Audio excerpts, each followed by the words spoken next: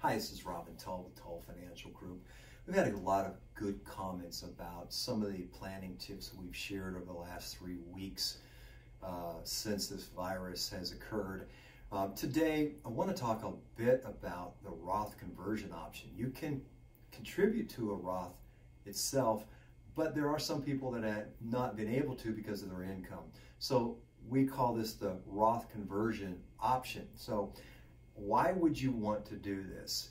If you have a traditional IRA and you think you're going to be project out that you're going to be at a higher tax bracket when you retire, then converting now, paying the taxes may be an opportunity for you. The second reason you might do it is if you say, look, I'm really not going to use this money. Uh, I'm going to leave it to my children. Then uh, pay the tax now, and then it's significantly tax deferred for years and years to come. And then thirdly, if you're looking and say, well, you know, I'm going to have a very low income this year, unusually low income this year, then I can pay the tax this year at the lower bracket, and then next year I won't convert. So those are three of the main reasons. For the recent uh, market drop that we've had, there's people that we've talked to that are considering because you say, okay, the traditional IRA is down in value. Why don't I convert it now to a Roth, pay the tax at this lower rate, and then when it comes back, I won't ever have to pay tax on it again. So that would be the fourth reason. Now, why would you not do it? Uh, I think the first one would be if you're getting ready to retire. You don't, you're not going to have the time for making up for paying that income tax. Secondly, by having that big income in that year that convert, uh, your Medicare will be affected. Social Security going to be affected. Be affected.